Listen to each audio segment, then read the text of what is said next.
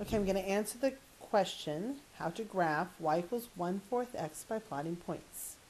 And on the right hand side, I wrote the steps for graphing, and I'm going to, step one, uh, we're going to make a table. How do you make a table? Well, I'm going to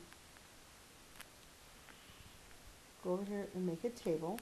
I'm going to put x on the left and y on the right, and I'm going to randomly pick values for x and then using the formula, y equals 1 fourth x to find the y. Okay, so let's pick some random points. 0 is always a nice, easy number to pick.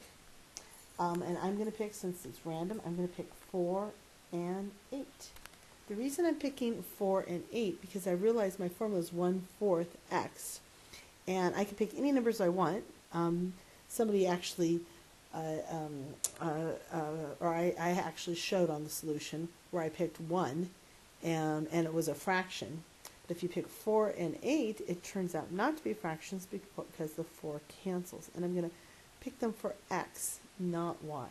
Okay, so how am I going to find y? Well, if I first one, I'm going to plug in 0 for x. 1 fourth times 0 is 0. The next one I'm going to plug in 4 for the x. 1 fourth times 4 is 1. Finally, I am going to pick 8 for x. 1 fourth times 8 right, is 8 over 4, which is 2. And now I have three points. The next thing I'm going to do is I'm going to plot the points on an, an xy plane. Okay, I drew, uh, the, here is the xy plane, where the horizontal is the x and the vertical is the y. I'm going to make sure I label. Then I'm going to label them every two. I'm going to go out to 8 because 8 is my biggest number.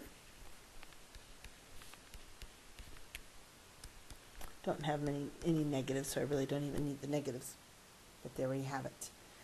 Um, okay, so now what are we going to do? We're going to plot 0, 0. That's right at the origin. The point 4, 1 is 4 along the x, and then 1 up. And finally, the 8, 2 is 8 along the x and 2 up. If I draw a line between those three points, I get a line, and that is the line y equals 1 fourth x. And that is the solution. So the solution is the following. Hopefully that helps.